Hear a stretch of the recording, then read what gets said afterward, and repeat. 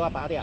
民国一百零六年九月二十三号，当年桃园市八德区白鹿里准备在十二月举办第四届番薯节活动。为此，时任里长和职工们一大早就戴起斗笠、穿起袖套，积极来到社区近两千坪的地瓜田梳理地瓜藤蔓，要让地瓜们长得又大又好。当年里长表示，地瓜已然成为里内的一大特色，因此希望透过举办番薯节活动，发扬社区特色。它的面积的话，我的辖区有超过三百二十公顷。但是呢我认为我这边的话，因为农地比较多，没有什么建设。但但是我这边白鹿里这边呢，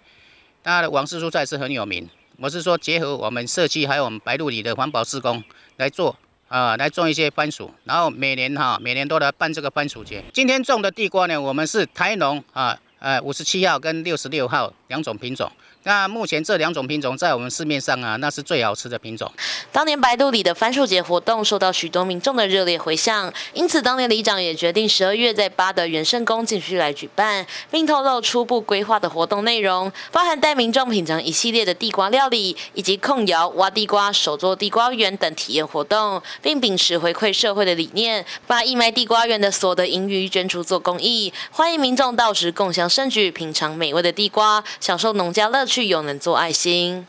就综合报道。